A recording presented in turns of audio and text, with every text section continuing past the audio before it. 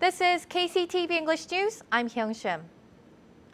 The Provincial Council has proposed an ordinance to preserve and manage the birthplaces of Korean independence activists in response to KCTV's report on the poorly managed sites. Provincial Councillor Hyun Gil-ho proposed a bill to pay tribute to the historical significance of the local independence movement and preserve the historical sites in Jeju. The bill stipulates that the governor should preserve and manage the historical landmarks and birthplaces of independence activists. It also mandates the governor to carry out projects to excavate historical sites and promote them to the public for educational purposes. In particular, the bill provides legal ground for the province to fund corporations and organizations to conduct projects to preserve and manage historical sites. The local prosecutor's office appealed against the Gwangju High Court's recent ruling to overturn the original verdict and acquit two public officials that were charged for releasing false information under the Public Official Election Act. The two were charged for spreading false information about JDC Chairman Moon Dae-lim, who was running against Governor Won Hee-ryong for the last local elections. They had made comments that Moon played golf right after the candidate election and released them to the press while they were in Won's camp. Judge Lee Jae-kwon previously stated in his ruling that the informant's testimony about Moon Dae-lim at the time was very reliable and that it cannot be determined whether the offenders purposely released false information. Although the number of tourists visiting Jeju has been decreasing, it is estimated that the amount of tourism income has increased, exceeding 6 trillion won for the first time. According to the 2018 Jeju Tourism Trend Annual Report published by the Jeju Tourism Organization, the preliminary value of last year's local tourism income was 6.54 trillion won.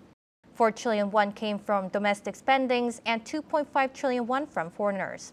This is an increase of 840 billion won from 5.7 trillion won in 2017. However, the total number of both domestic and foreign tourists continued to drop from 15.85 million in 2016 to 14.75 million in 2017 and 14.31 million last year. JTO believes that the increase in tourism income has been caused by the change in travel patterns due to the increasing proportion of individual travelers among domestic and foreign tourists. Next year's contract price of locally produced garlic has been set at 2,501 per kilogram. This is 501 lower than this year's price at 3,001. The local garlic cooperatives, comprised of representatives of National Agricultural Cooperative Federation in Jeju, held a meeting and set the next year's local garlic contract price at 2,501 per kilogram. This is lower than what local farmers wanted at 3,201 per kilogram. Local Agricultural Federation's representatives said that they cannot set the price higher due to the current management crisis and the remaining reserves in their storage. The final purchase price of local garlic will be determined next May. The province will push ahead with the construction and maintenance projects of local fishing ports. The province will begin seven projects, including constructing new fishing ports, remodeling idle fishing ports, and creating a marine theme park in Gangjeong Port earlier than planned. Officials will order for design services this month and start construction during the first half of next year. The province plans to execute more than 60% of the total budget at 13 billion won during the first half of next year.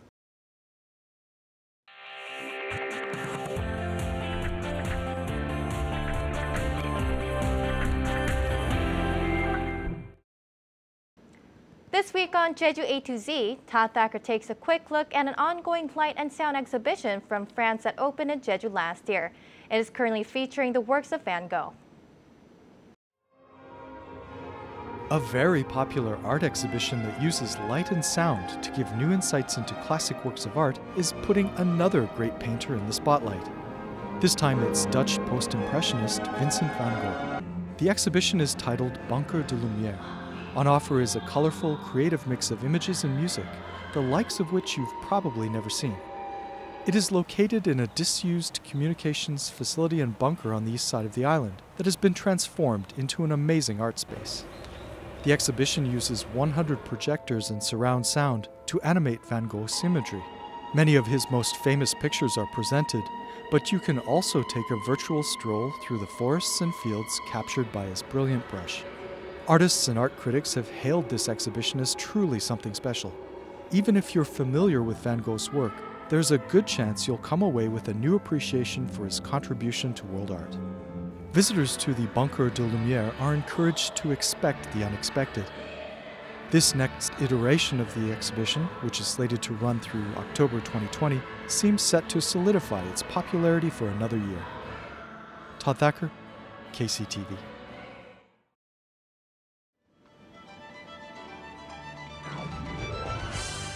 Enjoy a unique and modern take on the works of Van Gogh at the Bunker de Lumières.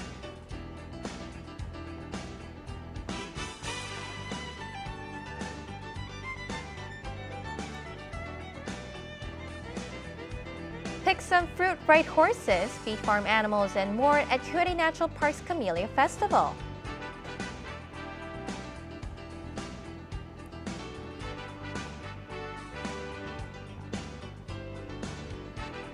Enjoy a digital art exhibition of a fairy tale.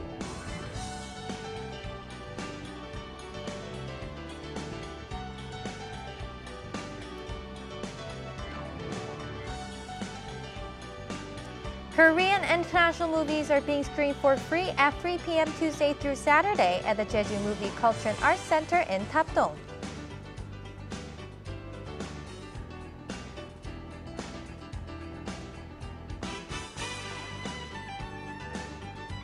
The popular and comedic performance of the Jeju Nanta Company is staged daily at 5 p.m. at the Nanta Theater in Jeju City.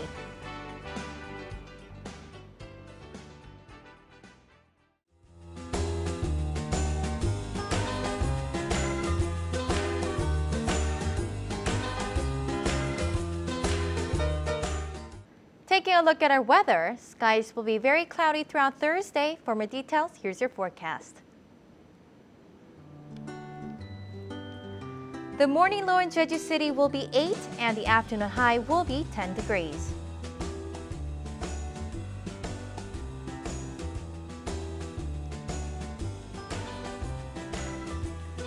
Down south in Seogwipo, we expect a low at 6 in the morning and a high at 13 in the afternoon.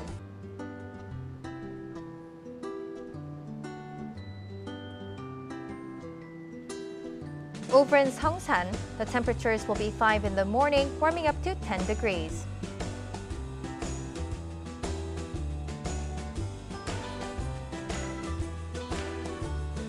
Across the island in Kosan, we expect a low of 8 and a high of 10 degrees.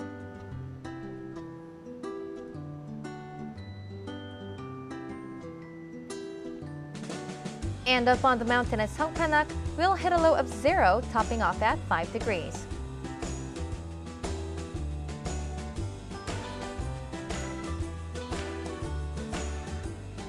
Out on the water, winds will be out of the northwest and north at a speed of 8 to 14 meters per second with seas between 1 and 3 meters.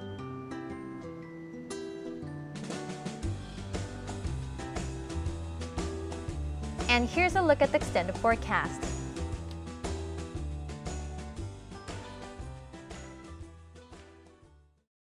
That's it for today's KCTV English News. Make sure you follow us on YouTube at KCTV News Jeju and on KCTV's VOD service. Please take care.